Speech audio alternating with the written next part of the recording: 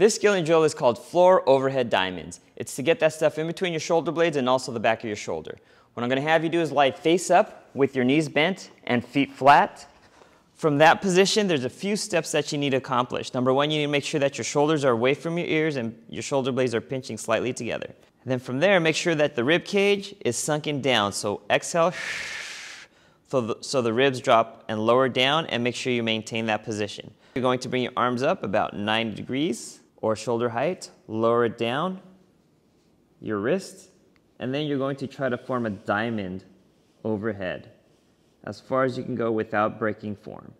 And then bringing it back to neutral and reversing the steps. So the first thing you want to make sure is you want to make sure that you maintain the shoulder blades down away from the ears and pinching together and the rib cage being sunk in and the core activated. If you break that, then you can't progress. The progression again would be elbows up like this. If you can own that motion, then you're going to lower the arms down just like so, making sure your ribs do not flare up and your shoulder blades are still engaged. If you can own that, then you're going to bring the arms overhead, trying to form a diamond with your thumb and also your index fingers. Hold it and stop shy of breaking form. Reverse the steps.